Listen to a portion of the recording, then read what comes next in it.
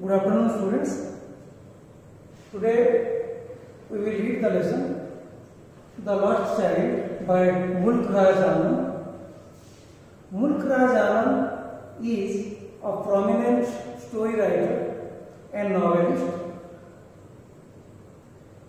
He is famous for his works like The Untouchable,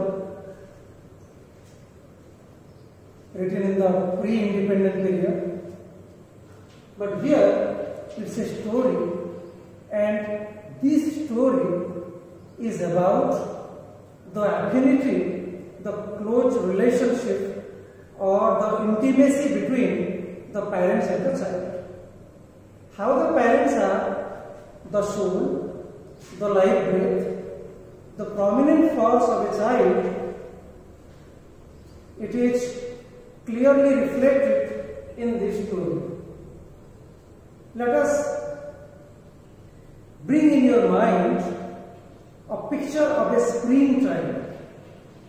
In springtime, people enjoy a jolly time.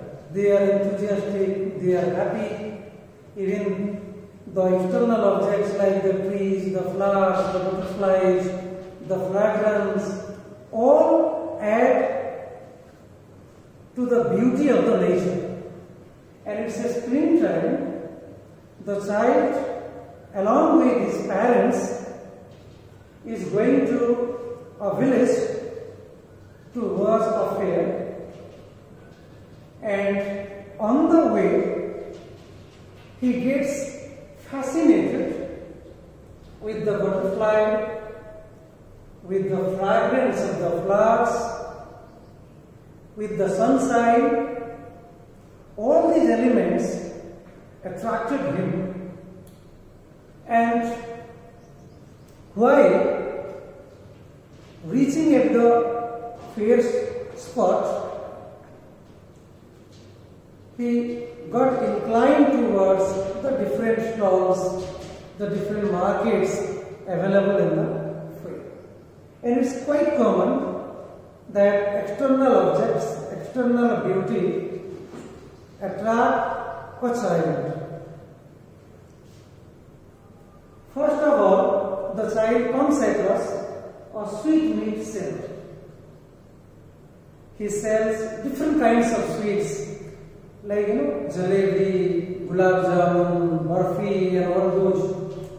And uh, of course, he gets quite fascinated, inclined, quite enthusiastic to grab them, to eat them, to relish them. But the irony is that the father tells him not to be so greedy with the eatables. So this interest gets shattered. Then he comes across another seller. It is a flower seller or you can say a florist. So he gets attracted with the garland of Gulmohar and everybody will get attracted to the flowers, its genuine beauty and the fragrance. Of course, creates a wonder. But the parents say these are so cheap, not needed, not important on the part of the child. So this dream also, like the first one, gets shattered.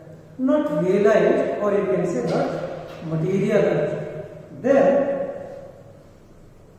other seller was the balloon seller.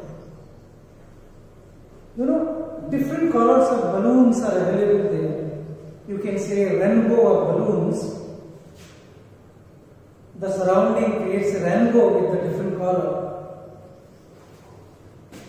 But the parents say the child is too old to buy the balloons because the parents say the as get the time span of the child doesn't permit him to purchase the balloons. Then the fifth one is the snake charm. Anybody gets you know a different kind of pleasure with the music, with the rhythm, with the lyric of any kind of you know music or song and the flute which is you know attached with the different veins, the different curves of the snake gives a special pleasure to the child. But when the parents are approached to stay there for some time and to enjoy that, the answer comes from the parents is quite disappointing. And the answer was, it is forbidden. A child cannot stay there, cannot stand there to listen to the music and to add value to the aesthetic appeal or the artistic sense. Now, the roundabout. All of you have enjoyed, you know, in Kota's Dasera fair and many other fairs that you have experienced. But here also, only he gives the pleasure by watching it while people taking the pleasure, taking the delight around it. But on his part, he can only look, he cannot experience because it is not permitted by the parents to experience it, to materialize it or to realize it. So students, in the next class, we will see the other part of the story how the intimacy between the child and the parents is more important, more stronger than the external objects. The child cries when he doesn't find his parents beside him and the laments, the crying, you know, the, the suffering, the kind of isolation that he feels, that we will see in the next class. Thank you students.